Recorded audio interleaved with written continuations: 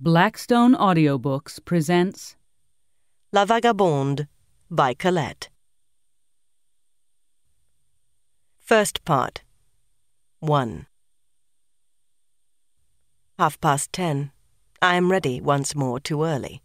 My friend and teacher, Brague, with whom I made my debut in Mimodrame, often censures this failing. You silly amateur, you're always afire. If one listened to you, it would be a case of beginning to make up at 7.30 while swallowing the hors d'oeuvre.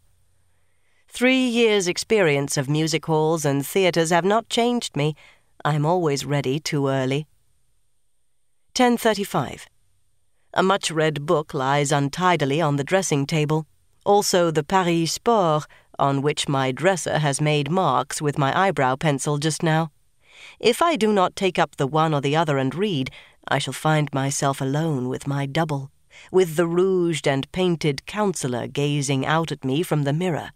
She has deep eyes, lids heavy with purple grease paint, cheeks tinted with the vivid colors of the garden phlox, and dark red lips shining as if varnished.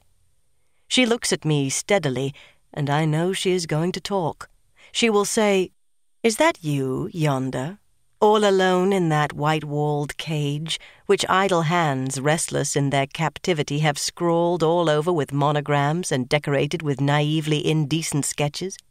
The unconscious cry of the forsaken has been inscribed on those plaster walls by fingernails dyed red as yours are. A woman's hand has written Marie, there, just behind you. The name dashes off into an eager flourish and mounts upwards like a scream. Is that you, quite alone under that humming ceiling, which vibrates beneath the feet of the dancers like the floor of a busy mill? Why are you there all alone? And why not somewhere else? Yes, it is the dangerous hour of clear understanding. Oh, for a kindly hand to tap at my door. Oh, for a face to come between me and the made up counselor spying on me out of the mirror.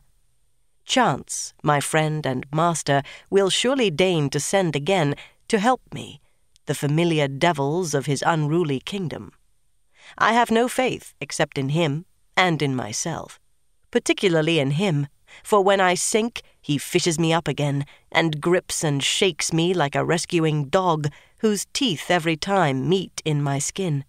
So that every time I sink, I do not expect a final catastrophe, but only some adventure some trivial commonplace miracle which, like a sparkling link, may close up again the necklace of my days.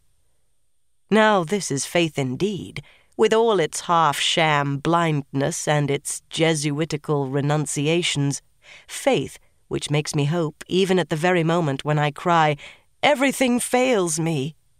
Indeed, should some day chance, my master, bear another name within my soul, I should prove an excellent Catholic.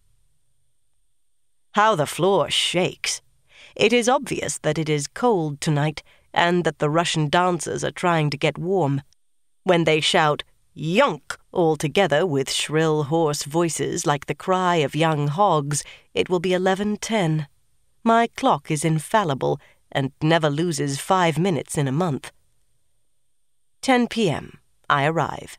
Madame Cavalier sings three songs Les Petits Chemineux, Le Baiser d'Adieu, Le Petit Quelque Chose. 10.10. Antonieff and his dogs. 10.22. Rifle shots, barking, finale of the dog's turn. The iron stairs creak and someone coughs. Jadin is coming down and swears as she coughs because each time she trips over her dress. It is a rite. 10.35. Bouty, whimsical comedian. 10.47, the Russian dancers, and at last, 11.10, I. I. Involuntarily I glance at the mirror as I formulate the word. Yes, here I am, though I am unrecognizable, made up in red and mauve, and with my eyes encircled by a halo of blue paint which begins to melt. Shall I have to wait so long that my features will melt away too? Will nothing be left of my reflection but a tinted smudge trailing on the glass like a long, murky tear? Oh, but it is cold here. I rub my frozen hands together. We hope you enjoyed this preview.